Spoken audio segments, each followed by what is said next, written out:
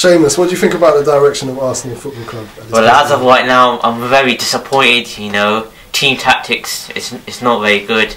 I'm no expert in football, but if I can see that Arsenal need a defensive midfielder and Arsene Wenger can't, then there's something wrong. You know, I think a five-year-old can spot it.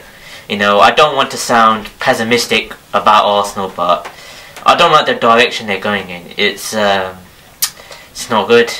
You know, nine years, nine years of disappoint disappointment, hurt, everything that's going on, and yet the one common factor is that Arsenal are always fourth place. Now you can debate that fourth place is good, and financially, I guess it is good.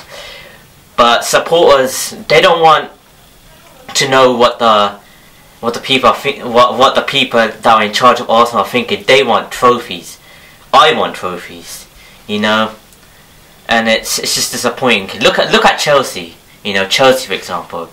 Who's their manager? Tell me. It's Jose Mourinho, isn't it? The most charismatic person that I know in the world, in my opinion, because he's a genius, a tactical genius.